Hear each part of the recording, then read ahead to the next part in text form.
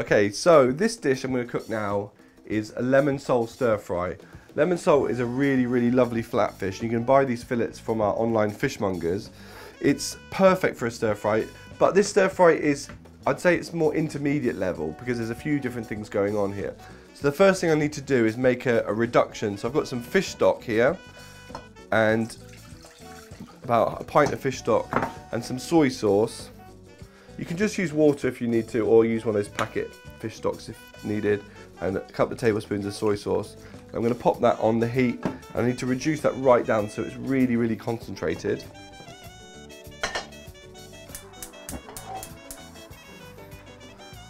Okay, so for the stir fry, I'm going to actually prep these lemon sole fillets just a tiny bit.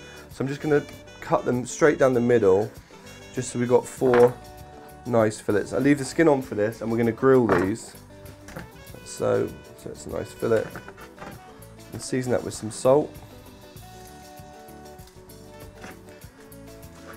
And then skin side up.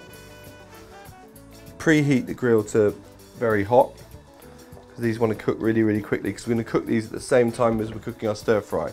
So once the reduction's finished, that's going to take probably 10 minutes. It's all going to happen really, really quickly. That's why it's it's more of an intermediate level because there's a lot of elements going on, but it's well worth it if you know if you want to impress somebody. It's nice and healthy, and also it used can use really nice seasoned ingredients like wild garlic and samphire can go through the stir fry. So for the stir fry, you can put what you want in it, but I've got some fennel here. So, and you want, with any stir fry, all the ingredients to cook at the same time. So I'm just gonna slice it to the same thickness as the mangetout. Like so, that can go into a bowl. And the mangetout I'll just ch chop through once, like so. And then in this other bowl, because that will go in first, and I've got some bean sprouts, some baby spinach, and then also here I've already got some chopped tomato, that's for the sauce, some chopped coriander, a bit of chopped basil, and we're finishing the sauce off with a bit of uh, fish sauce, lemon juice and butter. Once it's finished reducing, which is going to be, yeah, in about a minute, and the, I'd say the lemon sole needs about three more minutes, so I'm going to start my stir fry now. So that sauce is now reduced right down, so I'm going to take that off the heat. I'm going to add my stir fry pan and get that nice and hot. Lemon sole is getting there. So to finish this sauce, I'm just going to whisk in a bit of butter.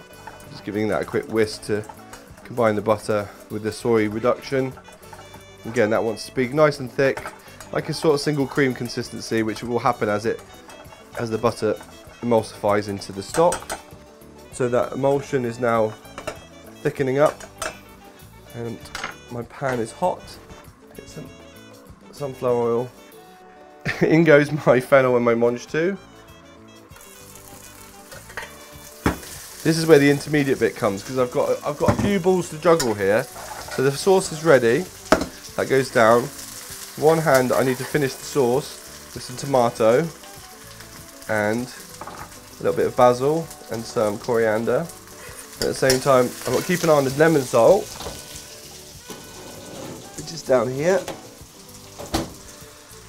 which is cooked.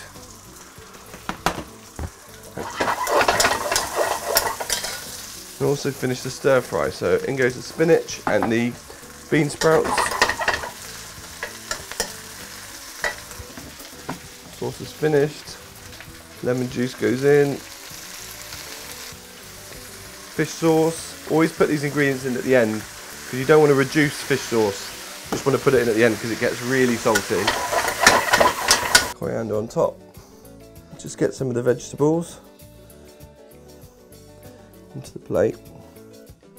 Fillets of fish on top of a little bed of stir fry. And then finish with this tomato soy sauce. There you have it. So that is lemon sole stir fry with a soy butter sauce. Like I said, bit intermediate, but well worth it with this beautiful fish available from Stein's Online Fishmongers.